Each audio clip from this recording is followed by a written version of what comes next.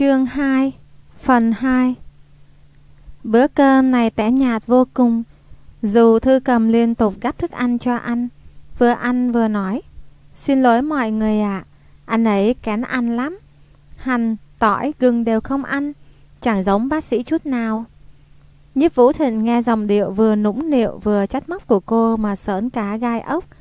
Đến lúc ăn xong đi ra ngoài, Thư cầm còn bước lên xe ăn rất tự nhiên, nhàn nhản vẫy tay chào mọi người. Cháu đi trước đây ạ. À. Chỉ mình giúp Vũ Thịnh nghiêm chỉnh chào tạm biệt chú gì của Thư cầm, rồi mới đi vòng ra ghế lái. Anh vừa thắt dây an toàn vừa cảnh cáo Thư cầm. Không có lần sau nữa đâu đấy. Tôi cứ tưởng cô gọi tôi ra cứu mạng Nào ngờ lại gọi đến gạt người Gạt người cũng là để cứu mạng mà Nét mặt tươi tắn của thư cầm lập tức biến mất Cô dựa vào ghế phụ. Tôi sắp bị họ ép đến chết rồi. Lần trước cô bảo tôi mạo danh anh trai cô. Lần này cô bảo tôi mạo danh bạn trai cô. Lần sau những chuyện thế này đừng gọi tôi đến nhé. Cái bia đỡ đạn này thỉnh thoảng dùng còn được. Dùng nhiều quá sẽ bị lộ hết đấy. Thư cầm thở dài. Nhiếp Vũ thần lúc này mới nhìn cô hỏi, Sao thế? Tôi sắp không kiên trì nổi nữa rồi. Thư cầm úp mặt vào đôi bàn tay. Nhiếp Vũ Thịnh, Nói cho tôi biết đi, Bao nhiêu năm nay, Làm sao anh kiên trì được thế? Đuôi mắt Nhiếp Vũ Thịnh giật giật, Anh cười gượng gạo, nói, Cái gì mà kiên trì với không kiên trì? Tại tôi chưa gặp được người nào thích hợp. Hơn nữa, cũng đang giận ông bố tôi thôi. Thực ra từ lâu rồi tôi đã Anh thoáng khừng lại trong tích tắc, Rồi nói tiếp từ lâu rồi tôi đã chẳng còn quay chồng chuyện gì nữa. Nếu thực sự gặp được một cô gái tốt Tôi sẽ kết hôn. Thư cầm bò tay xuống Liết ăn một cái Nói Đây mới là gạt người. Là thật đấy. Thế tôi là người con gái tốt đây anh có chiều lấy tôi không? Nhiếp vũ thình trắng buồn nhìn cô, chỉ nói Cô đã kiên trì bấy nhiêu năm Làm sao lấy tôi được? Tôi sắp không chờ đợi nổi nữa rồi. Thư cầm buồn bã nói, Có lúc tôi thấy không phải mình yêu anh ta, Chỉ là chờ đợi thành quen rồi mà thôi. Nhiếp Vũ Thịnh không nói gì, Anh hơi mơ màng. Có lẽ từ lâu anh cũng đã không còn yêu đàm tĩnh nữa, chỉ là chờ đợi thành quen rồi mà thôi. Thế nhưng thói quen này Luôn khiến cho trái tim anh âm ỉ đau. Đưa thư cầm về đến nhà, Cô còn trịnh trọng bắt tay anh, Chuyện hôm nay Cảm ơn anh nhé. Anh đúng là bia đỡ đàn vô địch. Đẹp trai ngời ngời. Nghề nghiệp lại hoàn tráng. Ai đi xem mặt gặp phải anh Cũng tự xấu hổ rút lui hết. Bác sĩ nhiếp, Lần sau nếu họ bắt tôi đi xem mặt nữa, anh nhất định phải cứu tôi đấy. Nhiếp Vũ Thịnh đã quen với kiểu anh nói linh tinh cợt nhã của cô, Nên chỉ mỉm cười đáp lại. Anh và Thư Cầm quen nhau ở Mỹ.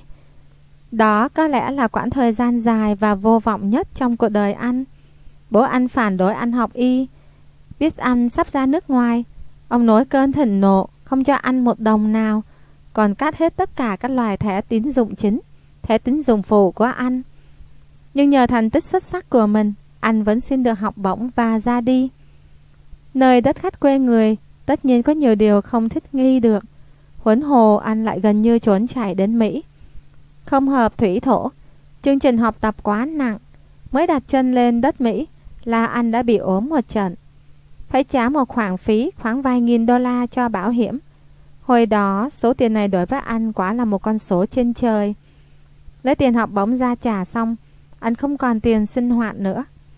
Vì vậy, bệnh còn chưa khỏi hẳn, anh đã bắt đầu tranh thủ đi làm thêm vào kỳ nghỉ. Chính là khoảng thời gian đó, anh quen biết Thư Cầm. Học sinh Trung Quốc tại Mỹ thật ra cũng chia bè chia phái. Thường thì học sinh Đài Lục là một phái, học sinh Đài Loan một phái, học sinh Hồng Kông lại là một phái nữa. Mà ngay cả trong số học sinh Đài Lục cũng phân làm rất nhiều nhóm nhỏ, dựa trên quan hệ về mặt địa lý. Anh và Thư Cầm không phải người cùng quê, chỉ gặp mặt nhau vài lần tại một đêm giao lưu khi mới sang Mỹ, cũng không nói chuyện gì với nhau. Hôm đó, anh đang cắt cỏ giúp một bà người Mỹ. Mùa hè ở Boston không nóng lắm, Nhưng cái máy cắt cỏ cứ kêu ầm ĩ. Còn anh hôm trước lại vừa thức trắng đêm trên thư viện. Tiếng ồn này làm cho đầu óc anh rối loạn cả lên. Chẳng biết gì nữa. Cắt được một nửa anh ngất liệm đi. Bà người Mỹ thuê anh khiếp vía. Lay gọi thế nào anh cũng không tỉnh dậy. May mà Thư cầm ở ngay bên cạnh. Cô trông qua hàng rào sau vườn bắt gặp cảnh này. Thư cầm vốn không thích can thiệp vào chuyện người khác. Nhưng nghĩ lại đều là người Trung Quốc với nhau. Nên rốt cuộc vẫn nhảy qua hàng rào sau vườn. Phủ với bà người Mỹ dìu anh vào nhà. Là Thư cầm nhất quyết không đưa anh đi cấp cứu. Cô biết phòng cấp cứu ở Mỹ càng ít đến càng tốt. Cuối cùng, cô lấy đá trong tủ lạnh ra chườm lên chán anh. Chỉ vài phút sau, quá nhiên anh mơ màng tỉnh dậy. Từ đó, câu nửa miệng của Thư Cầm là Nhiếp Vũ Thịnh, anh nợ tôi. Hồi đó, Thư Cầm đang sống phụng trộm cùng bạn trai, giấu giếm bố mẹ ở trong nước. Điều kiện gia đình Thư Cầm rất khá. Bố cô là ông chủ mỏ khoáng sáng nổi tiếng nhất ở nội mông. Sau khi phát tài liền đưa con gái ra nước ngoài học MBA. Sau này, biết được con gái có cầu bạn trai người Mỹ, có ý định ở lại Mỹ, bố mẹ Thư cầm vốn cổ hủ, không thể chấp nhận nổi. liền dùng kế lừa cô về nước, sau đó sẽ tan hộ chiếu của cô. Rồi dựa vào quan hệ không cho cô làm lại hộ chiếu, cũng không cho cô ra nước ngoài nữa. Sở dĩ như Vũ Thịnh thân với cô một phần là vì hồi ở Mỹ cũng nhờ cô chăm sóc nhiều. Lần đó, nhiếp Vũ Thịnh bị ngất, chính là vì thiếu máu. Anh rất kén ăn. Trước kia hồi ở Trung Quốc, nếu món ăn không hợp khẩu vị, anh cũng sẽ ăn qua loa bữa no bữa nhịn. Huấn hồ là ở Mỹ, trong tay lại không có tiền. Suốt ngày chỉ toàn ăn bánh mì cho qua bữa. Thỉnh thoảng mới đi siêu thị Trung Quốc mua mấy gói mì tôm, coi như cải thiện cuộc sống. Thư cầm tuy được nuông chiều từ bé, nhưng mẹ cô là người phụ nữ rất đảm đang Bà luôn có ý nghĩ truyền thống là con gái phải biết nấu ăn mới lấy được chồng, nên gắng ép Thư cầm học nấu ăn cho bằng được. Hồi ở Mỹ, Thư cầm tự nấu ăn, thường xuyên gọi Nhiếp Vũ Thịnh sang cải thiện. Đương nhiên, Nhiếp Vũ Thịnh cũng chẳng ăn không. Anh luôn giúp Thư cầm sửa bài luận hay gì đó. Tuy Thư cầm học kinh tế, nhưng nội quy ở trường rất nghiêm ngặt bài vở cũng không nhẹ nhàng gì. Nguyên nhân thứ hai khiến nhiếp vũ thịnh thân thiết với cô vì hai người đồng cảnh ngộ. Cùng có một ông bố độc đoán bảo thủ, nói một là một, hai là hai. Sau khi Thư Cầm bị lừa về nước, từng gọi một điện thoại dài cho nhiếp vũ thịnh. Cô khóc nức nở trong điện thoại, nhưng anh cũng lực bất tòng tâm. Sau này, khi anh quay trở về Bắc Kinh, thì Thư Cầm đã chiến đấu với gia đình mấy năm. Cuối cùng bỏ nhà lên thẳng Bắc Kinh, tìm một công việc vô vị là quản lý nhân sự. Tuy không về nhà, nhưng cô cũng không kết hôn, khiến bố cô tức đến nỗi suốt ngày trợn mắt cau mày. Trời không chịu đất, đất không chịu trời bao nhiêu năm nay. Cũng có lẽ vì sự đồng cảm này mà Thư Cầm trở thành người bạn khác giới duy nhất của nhiếp Vũ Thịnh. Thỉnh thoảng Thư cầm lại man bia đến tìm anh. Hai người ngồi trên sân thượng uống bia, ngắm nhìn ánh đèn xe nối thành hàng dài trên con phố cách đó không xa. Thư cầm thường hay bám vào lan can, trầm rãi hát. Tình yêu là một bài toán khó, khiến người ta hoa mắt chóng mặt. Hồi đó anh thường mỉm cười im lặng. Hai người, ai uống rượu người nấy, ai nghĩ chuyện người nấy. Tiểu lượng của Thư cầm rất kém. Nhưng uống say rồi cũng không gây chuyện Mà chỉ ngoan ngoãn lăn ra ngủ trong phòng khách nhà anh Sáng hôm sau bò dậy, Lại hùng hùng hổ hổ đi làm. Người nhà Thư Cầm theo dõi Thư Cầm bao nhiêu năm nay, Có lẽ cũng đã tuyệt vọng, Không còn ép cô về nội mông nữa.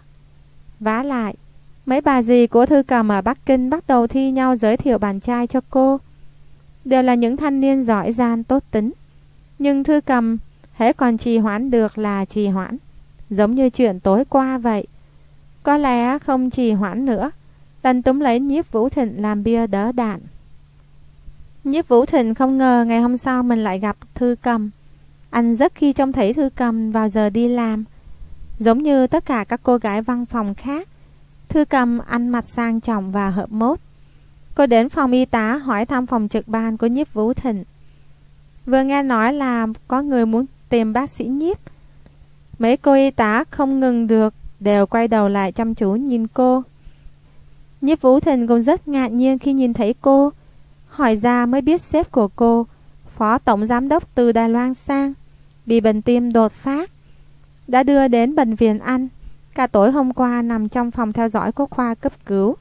Hy vọng hôm nay được nhập viện làm phẫu thuật. Ai nấy đều biết, giường bệnh trong bệnh viện Anh lúc nào cũng chật cứng. Vì thế Thư Cầm đành đến nhờ vả anh. Nhiếp Vũ Thịnh đâm chiêu dây lát rồi nói 5 phòng VIP như vậy, Chỉ có phòng đó còn trống thôi. Nghe nói vậy, Thư cầm lập tức nháy mắt với anh. Nhiếp Vũ Thịnh không còn cách nào khác, Đành đứng dậy theo cô ra ngoài. Đi đến tận cầu thang bộ, Thư cầm mới nói, Ở phòng VIP thì bảo hiểm không thanh toán, Anh nghĩ cách gì đi?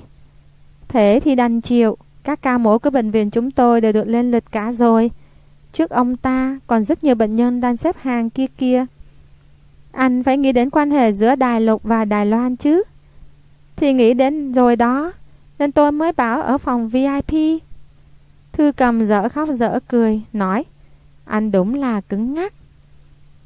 Từ trước đến nay, Cô vẫn biết cá tính của nhiếp Vũ Thịnh Là người cực kỳ thẳng thắn. Hơn nữa tuy làm việc trong viện đã lâu, Nhưng thật ra lại rất đơn giản. Không thào những chuyện nhân tình thế thái cho lắm. Ai không tiếp xúc với anh Thường cho rằng anh là người lạnh lùng và thanh cao. Thật ra anh không biết cách quan hệ với mọi người, Đặc biệt là các mối quan hệ phức tạp giữa đồng nghiệp với nhau. Thư cầm thở dài nói, Thôi, tôi nghĩ cách khác vậy. Lòng đầy tâm trạng, Cô chẳng buồn sang bên kia đi thang máy nữa, Cứ thể quay người đi thẳng xuống thang bộ. Hôm nay khi đi làm Cô buộc túng mái tóc dài của mình lên tầng đỉnh đầu, Trông rất gọn gàng. Cô chán nản lê từng bước xuống cầu thang tối, Như thể đang bước từng bước vào đáy sâu tăm tối vậy. Không hiểu sao, Tự dưng nhiếp vũ thịnh thấy mềm lòng. Trước khi bản thân kịp hiểu ra chuyện gì, Anh đã bộ miệng gọi, Này một tiếng. Rất bất lịch sự, Cũng không gọi tên cô, Chỉ hấp tấp muốn ngăn cô lại. Thư cầm ngoái đầu lại nhìn anh. Lúc này anh mới thấy mình thất thổ. Đành gường gào cười nói Thôi để tôi tìm cách giúp cô vậy. Cuối cùng anh đi tìm chú nhiệm Phương nói là anh có người nhà bị bệnh, hy vọng được phẫu thuật sớm, xin chú nhiệm Phương giúp đỡ. Vì trước nay anh chưa bao giờ đưa ra bất cứ yêu cầu nào với Khoa, kiểu nhờ vả lại càng là lần đầu tiên. Nên chú nhiệm Phương mau mắn đồng ý, lập tức cho người đi sắp xếp phòng bệnh. Thư cầm vẫn đứng ở hành lang chờ tin, thấy anh bước ra từ phòng chủ nhiệm, thông báo đã có dương bệnh. Cô liền nhoẻn cười rạng rỡ. Nhiếp Vũ Thịnh Tôi nờ anh. Tối nay tôi mời anh ăn cơm. Nhiếp Vũ Thịnh nói Ăn cơm thì thôi khỏi. Lần sau cô đừng gây rắc rối cho tôi là được rồi. Nhất định phải ăn cơm. Anh tưởng tôi có thể ôm cục nợ mãi không trả hả? Chúng ta ăn cơm Ăn xong không ai nờ ai cả Nhiếp Vũ Thịnh không còn cách nào khác Đành gật đầu đồng ý Thư cầm rất cầu kỳ trong chuyện ăn uống Mà Nhiếp Vũ Thịnh cũng là người kén ăn nên địa điểm cô chọn để mời khách rất ổn. Thức ăn ngon, phong cảnh lại yên tĩnh. Trong lúc ăn cơm, nhiếp vũ thịnh mới biết tại sao thư cầm lại nôn nóng đến mức phải nhờ vả anh để tìm cách nhập viện. Hóa ra, vì phó tổng đó không chỉ là sếp của cô, mà lại còn là họ hàng của chủ tịch hội đồng quản trị. Những vị trí quan trọng trong công ty tôi không phải là người Đài Loan nắm giữ, thì cũng là người nước ngoài nắm giữ. Tôi bị họ ép ghê lắm Nhưng họ càng o ép Tôi càng muốn làm thật tốt cho họ xem Tôi không họ hàng thân thích gì với ông phó tổng này cả Nhưng lần này tôi giúp ông ta một việc lớn như vậy Đến chủ tịch hội đồng quản trị của tôi cũng vô cùng cảm kích Thế nên hôm nay tôi phải cảm ơn anh cho ra hồn mới được Nhiếp Vũ Thịnh không ngờ chuyện này lại phức tạp đến vậy Trong bệnh viện tuy vẫn có đủ các loại quan hệ nhưng dù sao cũng là nơi kiếm ăn nhờ trình độ. Hơn nữa chú Nhiệm Phương lại là phần tử trí thức cũ, trí trọng nhân tài. Hễ ai có trình độ chuyên môn giỏi và cần cù ham học thì ông sẽ thích người ấy. Ai chịu giúp đỡ người khác, những đồng nghiệp trong khoa cũng sẽ quý mến anh ta. Ai đối xử tốt với bệnh nhân, bệnh nhân và người nhà sẽ hết lòng tin tưởng anh ta. Chính bởi làm việc trong môi trường đơn giản như vậy, nên anh sống rất có nề nếp, giản dị mà yên bình. Anh rất hiểu tại sao Thư Cầm lại kiên trì đến vậy, bởi vì anh cũng cố chấp chẳng kém cô. Bố anh không chỉ là một lần đề nghị anh trở về học cách quản trị công ty, nhưng anh luôn tỏ ra chán ghét việc đó. Anh rời xa gia đình, hy vọng mình có thể tự lập bằng chính đôi bàn tay của mình. Anh muốn dùng cách này để thoát ly tất cả những gì mình căm ghét, bởi cái gia đình ấy đã từng làm tổn thương anh. Nghĩ tới thư cầm còn vất vả hơn mình, lại vứt bỏ hết cuộc sống an nhàn sung sướng, ra ngoài bươn trải, anh bèn nâng ly. Nào, mời cô một ly. Cảm ơn. Thư cầm rưng rưng nước mắt, như đang chất chứa vô vàn thương cảm. Nhiếp Vũ Thịnh, may mà có anh, anh đúng là ân nhân cứu mạng của tôi. Anh cố tình buôn giọng đùa bỡn. Thế anh Mark của cô đâu? Mark là bạn trai của Thư Cầm. Nhiếp Vũ Thịnh chưa một lần gặp mặt anh ta. Nghe nói, sau khi Thư Cầm về nước, anh ta liền chia tay với cô. Dần dần, Mark đã trở thành một thứ kỵ hủy. Thư Cầm hầu như không bao giờ nhắc tới tên Mark trước mặt anh, giống như anh không bao giờ nhắc đến đàm tĩnh trước mặt Thư Cầm vậy. Có lẽ vì uống chút rượu, nên Thư Cầm hơi ngập ngừng. Cô nghiêng đầu, một tay chống cằm, trông như một bé gái nghĩ ngợi hồi lâu. Đoạn đáp, anh ấy là tình yêu. Đôi lúc một người nào đó lại chính là tình yêu. Anh có thể quên hình dáng người đó, có thể quên tất cả những gì từng xảy ra, có thể bất cần nói rằng mọi thứ đã qua lâu rồi. Nhưng làm sao anh quên được tình yêu hả? Nhiếp Vũ thình ngẩn người. Những lời này của Thư Cầm làm anh cảm thấy buồn bã và hoang mang vô hạn. Bố anh suốt ngày nói anh bị ma làm. Anh cũng đã vùng vẫy vô số lần, muốn giải thoát mình khỏi một lời nguyền nào đó. Thậm chí cố gắng không nghĩ tới vài cái tên. Thậm chí cảm thấy tất cả đều đã qua rồi. Còn cái gọi là tình yêu chỉ là sự si mê nhất thời mà thôi. Nhưng đôi lúc, một người nào đó lại chính là tình yêu. Làm sao có thể quên được tình yêu chứ?